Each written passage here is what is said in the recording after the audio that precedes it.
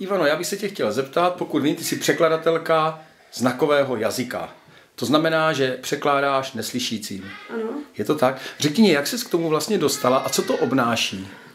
No, dostala jsem se k tomu už před asi třema, čtyřma rokama, kdy jsem eh, našla jako na letáku, že bych, eh, že pořádají kurzy třetí dimenze a začala jsem tam chodit a chodila jsem asi tři roky a potom jako ještě neumím znakovat tak, jako že by, pšticho, neumím znakovat tak, jako že úplně dobře, Ano, ano. ale uh, už se jako domluvím a pomáhám jim, takže jim chodím tlumočit. A doporučila bys to jako ví třeba lidem?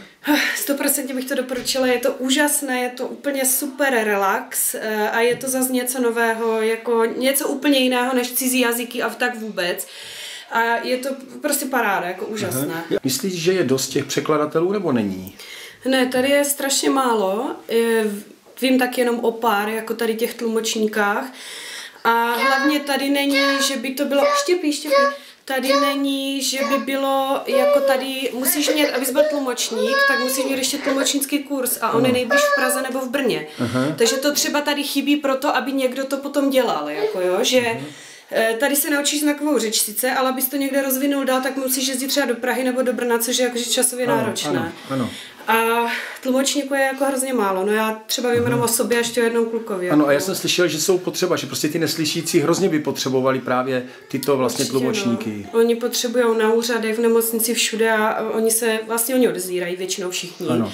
Jako tak oni rozumí, co jim říkáš, ale lidi neví furt, jak se k ním mají chovat. Lidi jakože neví, jo, většinou se setkávám s tím, že lidi se na ně ani nedívají. My někam přijdeme, oni se dívají na mě, jo, což jakože je neslušné za prvé. Ano, ano. A za druhé nemůžou se spolu domluvit a píšou na papírky, štěpí, ano, počkej, píšou na papírky a oni tak úplně perfektně navládají český jazyk, takže většinou tomu nerozumí. Rozumím, dobře. To znamená, že bylo by dobré, aby prostě víc lidí se to učilo, tu znakovou řeč. Myslím no. si, že čím víc, tím líp, jako když jich bude, když jich bude víc těch lidí, bude to super, no.